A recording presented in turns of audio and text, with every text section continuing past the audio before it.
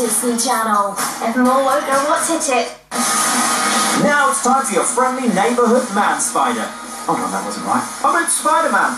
Imagine a man-sized spider.